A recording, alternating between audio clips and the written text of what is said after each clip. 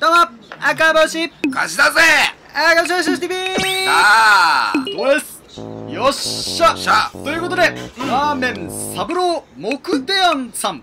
木手やんはい、おえー、茨城県日立市にございます。駅です、えー、駅じゃなくて、えっと、駅は大三日駅と言います。ちょっともうね大三日駅。三日の字がもう潰れちゃってますけども、えー、歩いて15分ぐらいのところにあります。で、はい。1台だけこうねこう右側の駐車場にあの、はい。駐車スペースあるんで車で行ってみてください。なるほど。ねでもともとですね木手庵というお蕎麦屋さん立ち食い蕎麦屋さんだったんですがほう。7月8日にいきなり二郎系に転身するという。えどういうこと？で突然二郎系になったというね面急遽なんですよね、でメニューが3つしかないです、ねはラーメンかウーロン茶かチャウシーということでね。ちゃうしチャウシー。これがですねあのー、一応チャーシューの発音これチャーシャオっていう中国の発音がなまってチャウシーになったという店員さんのお話だったんでご食ではございません。なるほど。えー、ということでチャウシーの話もどんどんしていきましょう。チャウシー。え今回頼んだらラーメン全部マシマシでチャウシーチャウシー2個いってます。おねチャウシーチャウシー2個えー通常のチャウシーは2枚だけということでね。はいはい。はい2枚足しちゃっております。お計さらに4枚。ねえ4枚ニンニク量尋常じゃないもう全体に振りかけていただいてありがとうございます。ニンニク臭はい。ね。でえなんと1日24食しかないということではカウンター6席なんで4勝したら終わりです。いえ？というお店なんです。はい。すぐ閉まっちゃう。まあそうだね。人気出たらすぐ終わっちゃうということではい。気をつけてください。さあそのチャウシー来ました。非常に弾力のあるプリンプリンチャウシーなんでね、はいはい。えー噛み応えが特徴的でこれです、ねえー、さらにですねその野菜いや結構盛り度が出てますがその前にこれレンゲがなんとスプーンということでね。あこれ蕎麦屋だったからじゃないですか。あー。蕎麦屋のカレー使ってたんでしょあーなるほどね。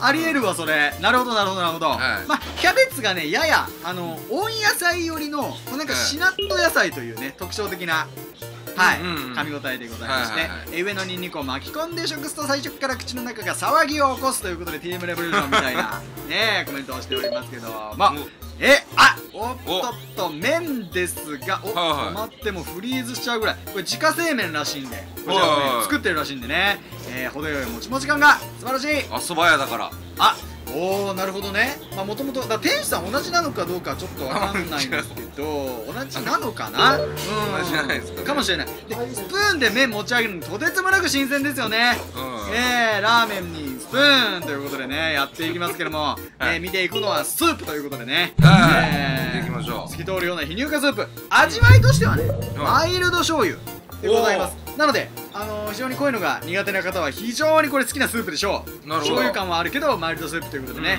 ニンニク加えてねパンチのある醤油。まあニンニク醤油にするのがもう決め手かもしれないこれは。あしちゃってっていうもう本当にニンニク入れた方がいいと思います。絶対美味しいんで、ええさらに詰め替えタイプのホワイトペッパーでございますがねもうちょっとねリズムのある まああのバキボケ仕立ての自家製麺に細かい胡椒がギュッと入ってね、うん。最高ですねこれね。ええ。で序盤から大量ニンニクね入れてたんで後半でもね浮いちゃうぐらいの量なんでええマシマシにしますと。で好きな方にはちょうどいい辛うめえということで。すごいね。えー、食べてきました。あなんかファイナル豚なんかもありますけども。ねえ、4枚入れてるんでこれをバクッと。バクッバとクッと。ファイナル豚を。さんでうわした楽しがちょっと白でねもう白見えない。でしってなっちゃう田舎のね。一瞬見えましたよ多分。一瞬見えました。一瞬見ました。かもしもし88.72 7人えー、アスケートの点数みたいな。いやもうすごいですよ。はえー、ということでね行っちゃいました。ラーメン三郎さんなんですが、はい。ここで言っときますがい。11月はう三郎祭りということでんなんだそれ。なんと関東にはですね三郎、まあチェーンを除いて、はいはい。えー三郎というつく店店舗がね僕の調べでは4店舗あるということでおお1店舗ずつ全部巡ってみたいと思います。三郎を。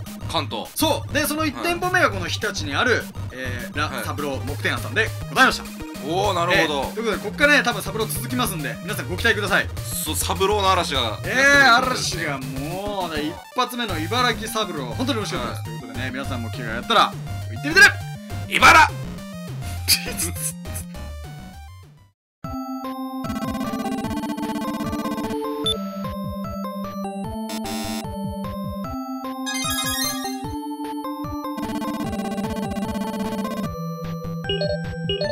you